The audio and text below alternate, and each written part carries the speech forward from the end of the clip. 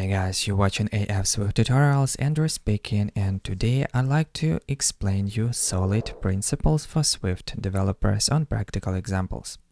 So what's solid? Solid is basically stands for five different conventions of coding. Following those principles makes your code more robust, more maintainable, and easier to manage and understand. So let's start with the first principle, SRP or Single Responsibility Principles. A class should have one and only one reason to change.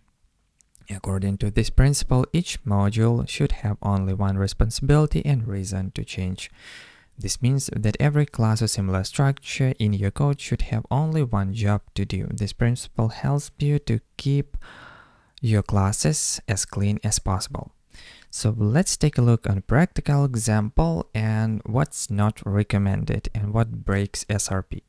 We have a structure general handler, we have a handle method that requests data from API, uh, writes uh, the data to constant, then parses constant and saves array to database, and everything is uh, and everything is handled inside of one handler.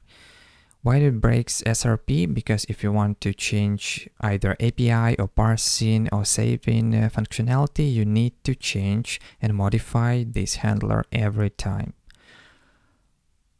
What is recommended due to SRP approach? We should break our handler into three different distinct handlers. One for API handling, second for parsing and the third one for DB handling to save data to DB. Then we have handler that uses dependency injection in order to inject all those three handlers. Uh, just in sake for this video, I'm using the structures itself, but you should not rely on those structures, but on upon abstractions. So you should use API handler protocols, parse uh, handler protocol, and so on. In this case, you have really decoupled code, and in this case, you can easily change the implementation as long as it conforms to the API handler protocol, for example. Second one, open-closed principle. Software entities should be open for extension, but closed for modification. If you want to create a class that is easy to maintain, it must have two important characteristics. Open for extension, you should be able to extend or change the behavior of a class without efforts. Closed for modification. You must extend a class without changing the existing implementation.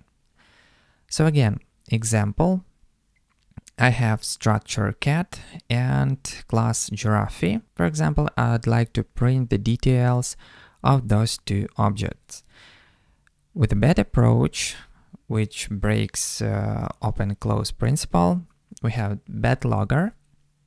In order to print data, we have uh, separate arrays for cats, then we print uh, cats array, and then we have giraffes and print giraffes array. What if we have third animal, and we also wanted to print the data of it? We need to add the third uh, array and the third uh, and loop through this array and print it again.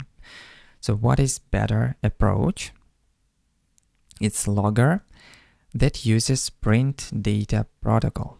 So we're not uh, relying on cat array or giraffe array, but we're relying on printable protocol.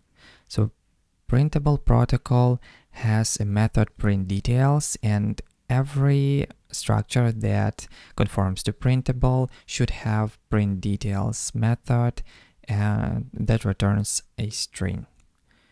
Therefore, in this case, we could paste uh, wherever we want inside of this array as long as it conforms to printable. With a bad logger, if we want to add new animals and print them, we need to modify the existing structure every time, but with a logger, and printable protocol, we can easily add new object to animals array as long as they conform to printable and we don't need to modify but we could extend the functionality of logger. The next one, this one probably the hardest to explain. This is not too hard by itself, but it's hard to understand what's going on. It's LSP, Liskov substitution principle. Functions that use pointers of references to base classes must be able to use objects of derived classes without knowing it. This principle can help you to use inheritance without messing it up. Adding precondition to the subclasses breaks uh, LSP, which means that when we overwrite the parent class, we should not change the implementation of the parent uh, class because in this case we cannot substitute the object of derivative class by the object of parent class. So I've created a protocol polygon. For OOP approach, it should be class with a property area. In protocol-oriented approach, we, in Swift, we could use protocols. So we have a protocol that has area property and we have two classes, rectangle and square. Both have different uh, implementation of area property. But inside of the function print area, we are using polygon.